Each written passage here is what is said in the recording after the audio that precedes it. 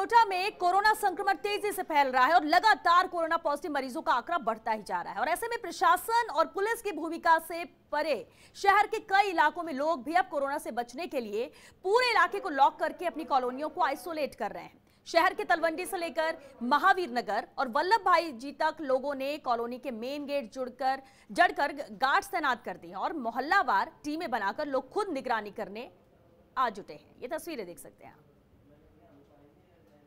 40 case सामने आने के बाद अब कोटा में भी कोरोना को लेकर के पैनिक क्रिएट होता जा रहा है, लेकिन कोरोना के जंग में सबसे महत्वपूर्ण है जन जागरूकता और जंग में जनता की भागीदारी। कोटा की तस्वीर आपको दिखाने की कोशिश करें। तलवंडी इलाके में फ़िलहाल हम खड़े हैं और अब लोगों ने क्या करना शुरू किया है, आप देखिए, लोगों ने खुद ही जो कॉलोनी के गेट्स हैं, उन गेट्स को बंद कर दिया है और किसी भी तरह की एंट्री, अब अवांछित लोगों की या बाहरी लोगों की लोग अपनी कॉलोनियों में होने ही नहीं दे रहे हैं। और एक दूसरी तरफ़ का रास्ता हम आपको दिखाने की कोशिश करें, अपोजिट साइड में तो यहाँ भी आप देखेंगे कि लोगों ने जो गेट है वो क्लोज कर दिए हैं। यहाँ तो बाकायदा आपको ताला दिख रहा है ताला जड़ दिया गया है। निवर्तमान पार्षद विवेक राजवंशी पहुँचे हैं और उन्होंने यहाँ पर ये गेटबंदी करवाई है। विवेक जी आ, पहले भी एहतियात बरती जा रही थी लेकिन अभी ये गेटबंदी की नौबत क्यों आ गई? कई मीडिया में कई तरह की जानकारी आ रही है कोटा में कि कुछ महिलाएँ इस तरह की हैं जो थूक लगा रही हैं दरवाज़ों पर जाकर के मकानों के कुछ पन्नियों पर थूक लगा के डाल रही हैं। कुछ सब्ज़ी वाले जो है गलत हरकतें कर रहे हैं।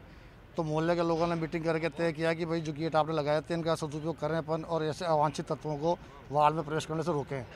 तो हमने मोहल्ला कमेटी बना करके दस बीस लोग कमेटी बनाई हमने और सब गेटों को हमने बंद कर दिया है। जो भी सब्ज़ी वाला है, कोई भी अवांछित तत्व प्रवेश करने की कोशिश करता है उसको रोकते हैं उसके पहले आईडी चेक करते हैं उसके पश्चात उसको प्रवेश करने की अनुमति देते हैं। और क्या क्या एहतियात बरती जा रही है? ऐसे कितने कितनी ऐसी कॉलोनीज होगी जिन पे इस तरह से आपने गेट बंदियाँ की है? इस तरह के गेट मैंने वार्ड में तो लगभग सभी जगह लगाए थे ब्लॉक वाइज सिस्टम बनाया था मैंने महावीर नगर सेकंड के दो पार्ट किए तलवंडी सेक्टर दो तीन को एक पार्ट किया कुछ दो तीन गलियाँ ऐसी जाम नहीं लगा पाया दुकानें बन गई थी व्यापारी ने विरोध किया तो हमारा प्रयास है आप ये समस्या सामने आई है इस समस्या के जस्ट बाद उन दोनों तीनों गलियों में भी हम गेट लगा देंगे और पूरे वार्ड को हम इस तरह से पाबंद कर देंगे कि आदमी एक गेट से घुसे और दूसरे गेट से निकले।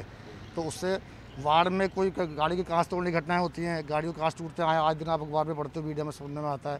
तो इस तरह की घटनाएँ जो चोरी होती है वो घटनाएँ भी बंद हो जाएँगी बाद में तो कोटा शहर की पौष कॉलोनी में अब टू एंड फ्रो गेट्स पूरी तरह से बंद कर दिए गए हैं। हर आने जाने वाले पर कड़ी निगाह रखी जा रही है और कोरोना नहीं फैलने पाई इस जंग में। अब प्रशासन के साथ ही साथ, कोरोना वॉरियर्स के साथ ही साथ चिकित्सा कर्मियों पुलिसकर्मियों और स्वास्थ्य कर्मियों के साथ साथ कोटा में आम जनता भी बढ़ चढ़ अपनी भागीदारी दर्ज करवा रही है। लेकिन सबसे बड़ा सवाल ये कि जिस तरह की बातें कोटा में इन दिनों फैल रही है कि कुछ ऐसा समूह है, कुछ ऐसे महिलाओं का, कुछ ऐसे लोगों का जो कि अवांछित तौर से गलियों में घूमते हैं, वहाँ पर लोगों के घरों में थूकते हैं, इसकी हकीकत भी पुलिस को तुरंत सामने लानी चाहिए।